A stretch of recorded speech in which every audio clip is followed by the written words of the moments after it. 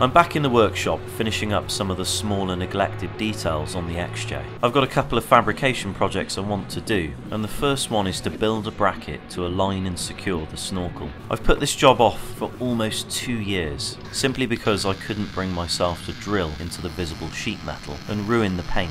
So my plan is to make a wraparound bracket that clears the A-pillar and bolts behind the pillar leaving the paint unscathed and the job reversible if ever I were to remove the snorkel.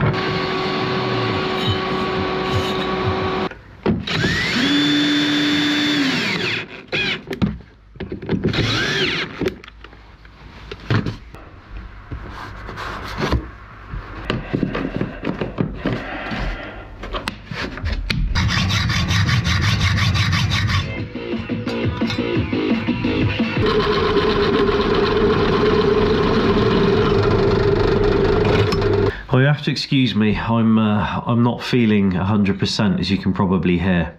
Uh, things got a bit crazy last night. I mean, it was uh, mine and Samantha's uh, anniversary, so I opened the box um, this time actually last week. So it's held up pretty well. Um, normally, normally they don't last longer than than a week. So we'll see how it goes. But anyway. Um, been meaning to make one of these for about a year and a half. and I never really wanted to make one that just sort of screwed into the side of the sheet metal. So I've kind of built a wraparound thing, a little bit like those light pods that you see I've got there just in front of the mirrors. But those light pod ones aren't actually that great because they, they hug the pillar. So you get this slight vibration and it takes the paint away. So I've actually had to pack rubber, thin rubber underneath those, which solve the problem. But with this one, I've just made it so there's a gap so the soapy water can wash the dirt away and it never makes contact with the pillar. Um, but anyway, paint it and mount it.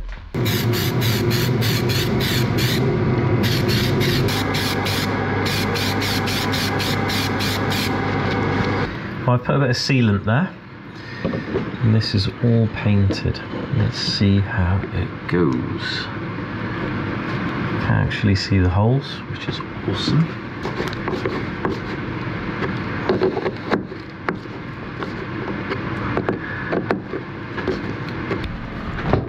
That looks good. It's all good. No touching. That is quite a distance actually to uh, to try and.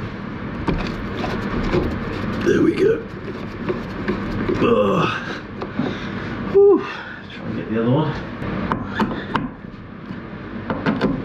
That's it. Oh, that is rigid as. Love it. It's always these very simple little projects that I find can sometimes be the trickiest, especially when you're trying to not scratch this nice A pillar here and kind of ruin it. So I've maintained a bit of a gap between the snorkel and the pillar so that no dust and small vibrations over time can sand away the paint and ruin it. It's also straightened up the snorkel, so before it was off to one side, now it's dead straight with the vehicle, it looks way better. There's a tiny, tiny amount of movement, movement but just the smallest amount, so it looks really good. And, and that gap between the bracket itself and the pillar means again, dirt can be washed out very easily. We'll see how it lasts, but that is a big improvement. That may have looked like a small job, but it was surprisingly time consuming. But now I've got a more complicated project to conjure up, and it's a fold down step for the rear ladder. With the approach of summer, it won't just be me using the Jeep, so an assist step to get up to the ladder is going to make it so that you don't have to be able to do the split to make that first step. And like usual, I have no plan for this, so I'm just going to see how it goes with the scrap that I've got in the workshop.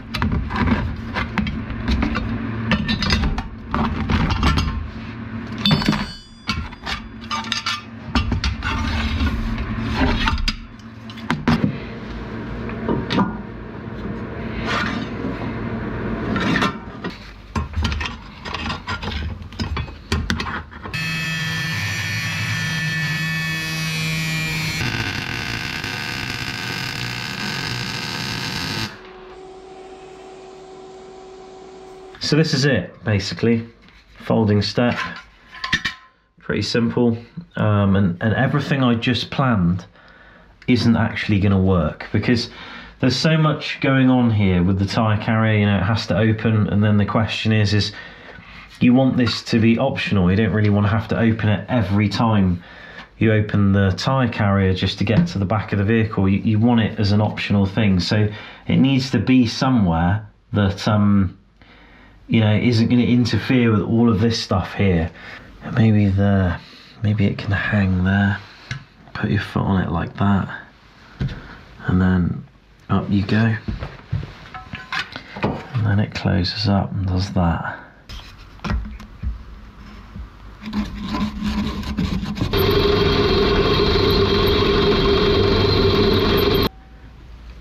Yeah, like that.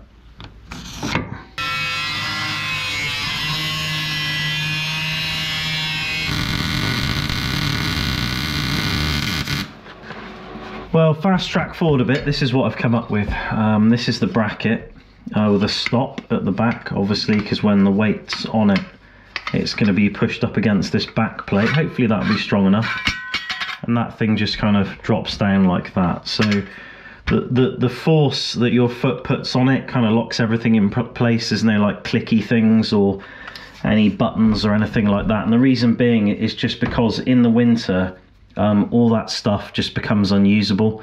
Like any small latches and pins and spring operated shit, it just gets gummed up like, uh, well, you know, you know, talking about basically. So I've kind of made it just as simple as I can and as robust as I can.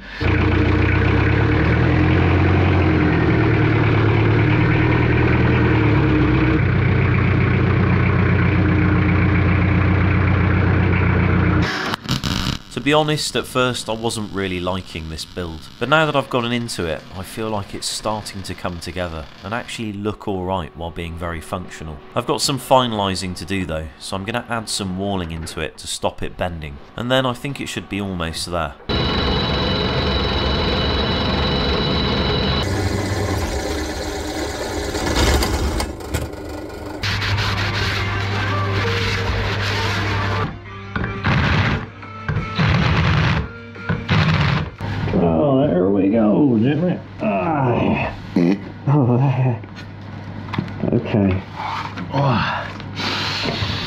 have to excuse the mask. The dust is a pain. Well, I've drilled some holes in the back of that. I had to wall it off. There's a lot of flexibility in it before, and I've actually shortened it a little bit because it was a little bit low. So I'm going to put this together now and uh, see what this is like and I found a little mechanism in the garage. I know I said earlier I was I was, wasn't going to use this kind of stuff, but I kind of really don't know what else to do. Um, so I'm going to try and build that into it.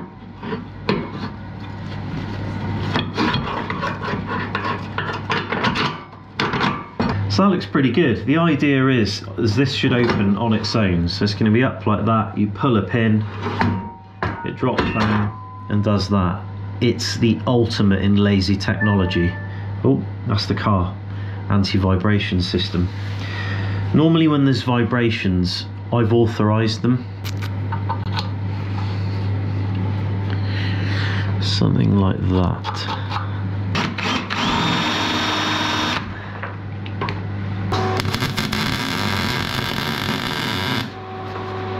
Well, that's the step all finished. I've just cleaned up the welds and got it ready for paint. Just need to brake clean it. I would like to Raptor line it like the rest of the bumper and tyre carrier, but the problem is I don't have any Raptor liner, and this would use way less than a litre of paint. So um, I'm going to wait till I've got some other projects on and paint it with Raptor at a later stage. Just going to rattle can it for the time being. But this is a bit stiff. You can get this out if you pull it, but it is just a bit on the stiff side. So what I'm going to do really when I operate this is I'll just lift it a bit and then let it drop down. And, and, I've changed the design a bit. So before when it used to drop down it would open automatically like that. It doesn't do that anymore. So what I've added to it is this foot here which has changed the weight of it a bit. So when it drops down it does that. I'll kind of show you it stays like that and then you push that with your with your foot and then it opens and the reason being is that when I want to close it again um, I can just put my foot up like that it will stay there and it will close like that and I don't have to bend down. So it just makes my life a bit easier. The only thing that's annoying is this is a bit stiff. Maybe it'll loosen up over time, um, but it does work pretty good. I mean now you can basically walk up this come back down. It can take quite a lot of abuse. The only thing that I would say is that obviously I've lowered the departure angle of the vehicle by adding all this crap here and it's subjectable or susceptible even to leverage so I mean it's pretty tough I've, I've been yanking at it the step for a while and um, you know it, it doesn't appear to be too weak or anything like the bracket is extremely strong so you know hopefully it'll be okay but you never know when you get off the rocks and you drop down the vehicle slams something it's gonna it's going to take some shit, isn't it, to be fair, and probably get damaged. So, you know, I'll see how it does. I guess at least it can be removed. So, another job I've been putting off forever is changing the chain in the transfer case. And someone said, jack the vehicle up, um, put it in four wheel drive, and if you have more than a quarter inch of play on the drive shaft, then um, your chain is stretched. Which, I mean, I think it pretty much is, isn't it? Look. Definitely not the gear engagement, that is absolutely tight as. So, I guess the thing to do now would be to take it for a drive and see whether it still makes the noise, but those Spicer U-joints aren't that old. Absolutely zero noise from the transfer case. So that's shit. Why is it doing that then? Well, I just took the Jeep out for a spin and put it in four-wheel drive without the drive shaft in. No noise whatsoever. It's as quiet as a mouse, so you might think it's got to be the drive shaft. Well, I'm convinced it isn't. I actually think it's the bearings and the chain. I actually just think the NP231 needs rebuilding. There's a tiny, tiny amount of play there on that front yoke. There really shouldn't be. It's very slight, but I would assume there should really be none at all. Um, but anyway, I'll show you why I don't think it's the drive shaft. Normally it's the double cardan portion that gives the problem. Um, but again, these U-joints aren't that old. Um, everything's really nice. There's absolutely no movement in this at all. There's a tiny, tiny amount here. Just the slightest amount, absolutely nothing though. But I don't think that's enough to cause the horrific growling sound that I'm getting under acceleration. The growl I'm getting from the NP231 is extremely loud under load, a little bit quieter under deacceleration, so I think it's bearings and chain, and I think that's the problem. I've had an issue with the 231 for a little while now. I've tried to kind of fix it using some stuff I had here and a spare T-case, but really I should have just bought a master rebuild kit and done the job when it was out of the vehicle. So I won't make that mistake again. I'll order that stuff and that's when I'll take it off the vehicle to fully rebuild it so it can stay in there for now. So viewer discretion, this is the part of the video I'm probably going to do a lot of talking, but that step is kind of all done. I primed it and rattle canned it with matte black paint, but um, $50 equivalent for a one litre of Raptor liner. It's very expensive here in Sweden. I will get a litre, but um, I plan on using the vehicle in a couple of days for a camp I'm going to do with a mate of mine that's been a long time coming. So it'd be nice to have the older 40 plus step given I'm almost there installed in the meantime. But this video really is just me wrapping stuff up on the diesel. Um, I was going to rebuild the draw system, um, given that's a prototype and I kind of know how I want that now. And I had some other little things I needed to do, like the NP231 and everything, but I just don't have the parts nor the time nor the drive right now to do it. So I've wrapped up work on the diesel. It's ready to go out for the summer and the spring and everything or whatever. And the next videos to come, in between the overland stuff, if I'm in the workshop, it's going to be the four litre out there. Because that thing's sat patiently all winter covered in snow. And now things are thawing out i'm going to drag it out of the snow with this thing and uh, get it in here. Because i've got some corrosion work to do on it and my plan is to get all the cutting and the welding and the paintwork internally done, clean up the interior, get it back in, and then do the outside. And then kind of end up with a nice shell of a vehicle to work with that has all the rust treated, all the rust treatment done underneath, like the Dinitrol and stuff you see me do. And from there on, once you've got a decent shell, you're basically in the right ballpark really to start taking a vehicle in any direction you want it to. Now with that four litre, it's too nice to turn into like a Frankenstein Jeep like mine. This Jeep here is the adventure thing and the experimental thing that I play around with, but um, that thing there, I'm probably just going to do a very modest lift, like two inches or something, and then 31s, and just make it into kind of like, you know, a nice SUV and really keep it simple. It's not going to be a roof tent on it, nothing like that. And if I take it out on a camp, which I really want to do, um, then I'll just be in a sleeping bag inside the vehicle and just get kind of make it into like a back to basics setup on a budget. That's what I'm keen to do, really.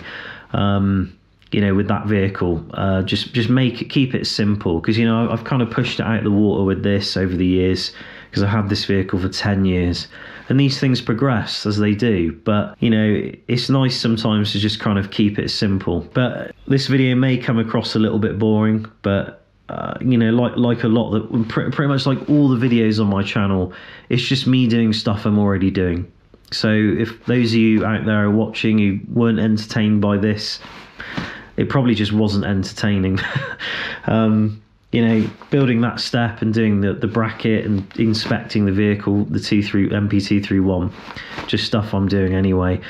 And you know, you just have to remember this isn't like a full-on budget channel where I've got like an editor and a drone pilot and all this kind of stuff and a real high budget. It's just one bloke in a shitty garage with a couple of Cherokees, a grinder, and a budget welder, and that's kind of like a lot of what most people have. So, um, you know, it's just the realities of real life, really. But that really brings me to the end of the video. That I was going to go into a bit of dialogue at the end here about some stuff I'm going to do with the diesel. I, I might. I'm toying around with, with some pros and cons of, of having the roof tent removable and sleeping inside the vehicle when I'm winter camping. Because in the summer it doesn't work. I've tried it. I've experimented with ground tents, I've been in hammocks, been in the ARB awning room, I've changed tents a few times and, and experimented with lots of stuff. And the roof tent is something I come back to because of the footprint of the vehicle, because of the insects, and just the, the convenience of setting up and being on the ground, uh, up in the tent, sorry, on the roof, and, and it containing all the bedding. Um, it just makes a lot of sense, really, as sort of a vehicle that's a jack of all trades and a master of none not quite a solo vehicle, not quite a family vehicle. It does both. It's a shit build, really, in a way, because like when you try and build a vehicle like that, you need a massive vehicle really to sort of cope with that. And a, Cher- Cherokee is a very small platform to to build off of. So I've got some. I've got to think about the direction I'm taking it. Um, but the reality is, is like sleeping in the vehicle, which would be ideal, really, isn't possible in Sweden. Uh, the mosquitoes and, and the insects is just too too intense. Um, and and if you've never experienced it, then then you just can't imagine it. Because I've tried explaining it to people. I've had people visit Sweden and come out with me multiple times, and I always pre-warn them. I'm like, Sveen, Knott, Mug, Brems, plus all the other stuff in the south, like the ticks and all these like weird flies that lay eggs in your hair, you know, and like the weird horsefly thing. I don't know what I can't remember what it's called, but it lays eggs in your scalp. And even washing your hair doesn't get it out. There are tons of different flies, and they come in droves. You know, you can't breathe in some in some locations. So when you're sleeping in a vehicle and you have the vehicle open, it just fills up. They just go in because you're creating shade and why you see me avoid an awning at all costs in the summer. I just bake in the sun because at least the sun means they they get dehydrated and they and it's too hot for them. So it's the only time of day where you get peace. So if you come from somewhere that just doesn't have that volume of flies, it just it's just hard to understand. It's why a roof tent's a really cool thing when you've got kids because it's on the roof, it's closed. And when it's up there, they can't get to it and keep opening the doors and letting everything in.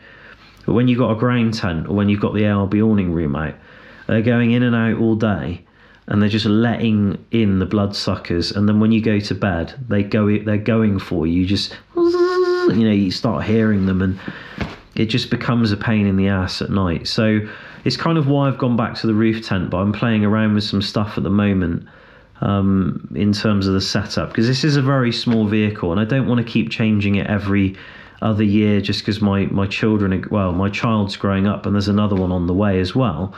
Um, you know so the family's getting bigger so i need to sort of think about some stuff but um, anyway um, i'll stop talking.